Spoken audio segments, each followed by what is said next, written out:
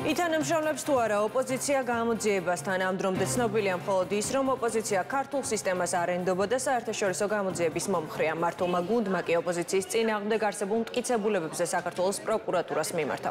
ქართულ ოცნებაში ამბობენ, რომ მათ მიერ მოპოვებული ფაქტებით საქმის სისხლის სამართლის კოდექსის 162 მუხლით გათვალისწინებულ დანაშაულს ეხება. შეგახსენებთ საქართველოს პროკურატურამ საპარლამენტო არჩევნების სავარაუდო გაყალბების ფაქტზე გამოძიება ცენტრალური საარჩევნო კომისიის მიმართვის საფუძველზე ფონზე დაიწყო. ამ საქმეზე გამოკითხვაზე დაბარებულია ქვეყნის პრეზიდენტიც. რა უნდა მიუტანო? საჯარო სივრცეში დანაშაულის ამსახველი ფაქტებზე ვალდებულია პროკურატურა გამოიწვიოს. რა უნდა მიუტანო? რა უნდა მიუტანო იმ დანაშაულებს რომლებიც პროკურატურაში არიან? კიდევ თქვენ სისხლის სამართლის კოდექსი იცით?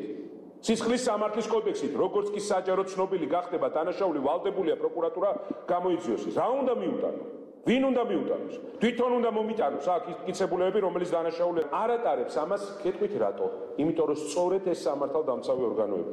არის ქვაკუთხედი ამ ორგანიზებულ დანაშაულებრივი სინდიკატის, რომელიც ჩამოაყალიბა ქართულმა უცნებამ და რომელსაც ჩვენ აუცილებლად ჩამოვშლით. ადამიანები ზოგადად არ ჩადიან ამ მასშტაბის დანაშაულებს, თუმცა არ აქვს ქვეყნის შიგნით დაუსჯელობის სრული გარანტია და განცდა იმისა, რომ არავინ მათ მოქმედებებს არ გამოიძიებს. ამიტომ არის, რომ ადგილობრივი გამოძიება ჯიბის პროკურატურა ამ სქემებს არ და ვერ გამოიძიებს და ამიტომ არის სწორედ საჭირო, რომ მიუკერძოებელი დამოუკიდებელი და მიუკერძოებელი გამოძიება ჩატარდეს. რადიკალები გამოძიებასთან არ ითანამშრომლებენ ერთი მიზეზის გამო, რომ მათ უბრალოდ არ აქვთ ფაქტები და ფაქტებს რომელ წარმოადგენენ, რა თქმა უნდა, იქვე ნათელი იქნება მათი ტყუილი.